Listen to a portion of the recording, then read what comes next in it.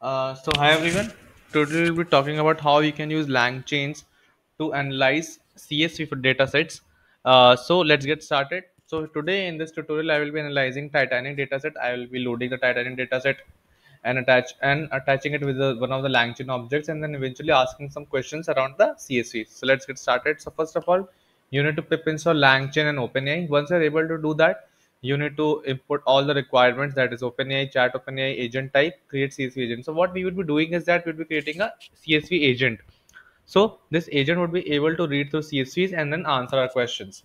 So in the next fun next step, as you can see that we're creating a create CSV agent. We're calling this function where we're passing the OpenAI object with the API key. You need an API key for this. Then the next uh, parameter is a titanic.csv. So this titanic.csv is present in the same folder. That is, I'm using the, directly the name else you need to give the path. And agent type is zero shot react description. Now that's it. Next i would be asking it a few questions. So if you know about titanic there are some it is a data set around the, information about the passengers and which of the passengers survived. So agent agent.run lists down the most expensive cabins. So here you can see that it goes through some analysis and eventually it is able to give me an output that the most expensive cabins are pc 17755 b51 b53 b55 c23 c25 c27 my next question is give some interesting facts from the data.